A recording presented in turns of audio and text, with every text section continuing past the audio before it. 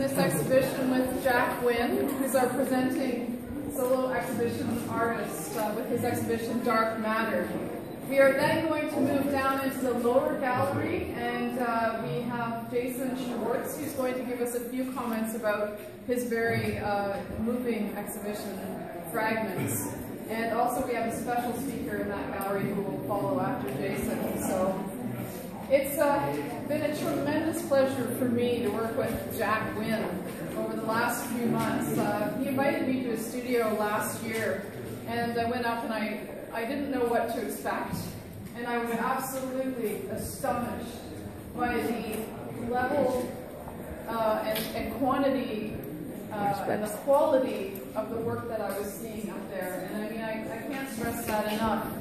From seeing these dark matter paintings to later on I did a subsequent studio visit seeing the paintings which have the kind of yellow netting on them and they are called escapes. And they reflect on Jack's trying to look at the universe outside of the universe. He's trying to become something other than what he is now.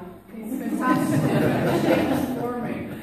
And uh, the exhibition really with, I mean, pardon the pun, but a bang. And uh, and we are so excited to uh, to present this. And uh, it, it, it's a wonderful, playful, deep, intense journey. And I'm going to turn it over to Jack to say a few words about it. Thank you. Thank, Thank you, Jack.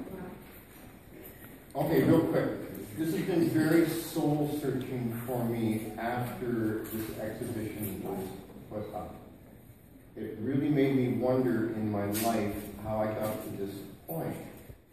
And I realized it was my father, who was a navigator in Lancaster airplanes, uh, that taught me to look up at the sky. Ever since a very, very young age, we were looking at stars. I just researched what his job would have been on the airplane, and he would have sat behind the pilot. He had a window and a desk and 40 stars on a list.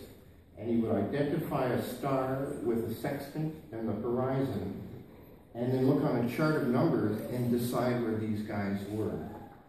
Um, stars were really important to him. He took me to the first flight of the Avro Arrow when I was four or five years old. And that was something that was just in my mind.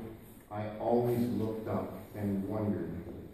Then when I was a young teenager, I had a friend who had a grandmother, Mrs. Farron, and she was psychic she would sit at dinner and just start to giggle and say something that was going to happen. And it wouldn't be anything profound. It would be, oh, you're going to go away to school. Um, your car's going to stop working. You're going to meet somebody with this colored hair. And my friend told me that all of his life, Mrs. Farron had given him six months, a year, two years, little insights into what was going to happen. Mrs. Farron opened a door for me that is profound. It made me believe that everything and anything is possible, and we are a small piece of a larger picture.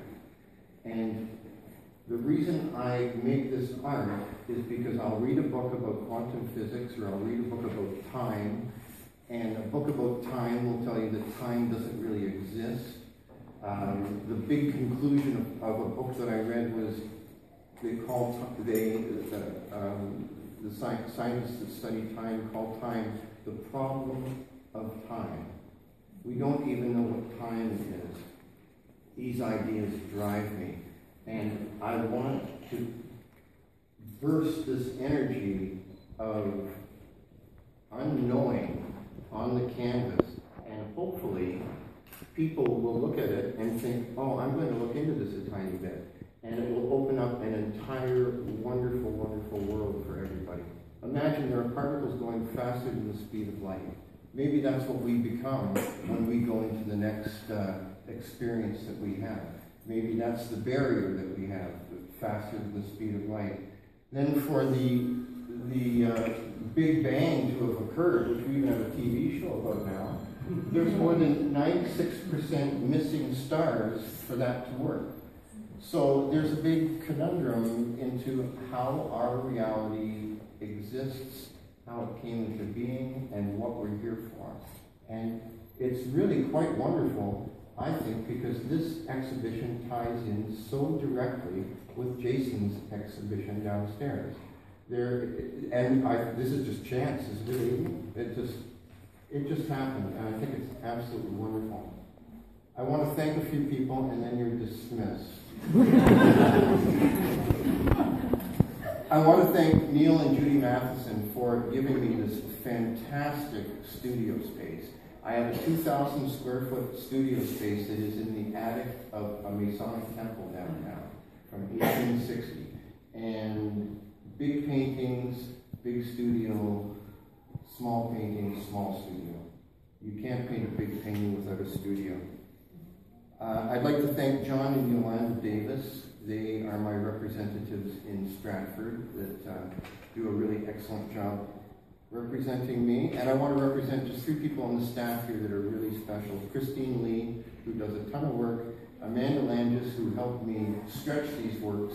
And this is actually a tracing of Amanda on this canvas. That's, that's Amanda's escape. And of course, Aiden for this opportunity that's just um, profound for me.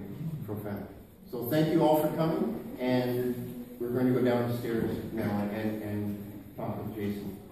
Thank you.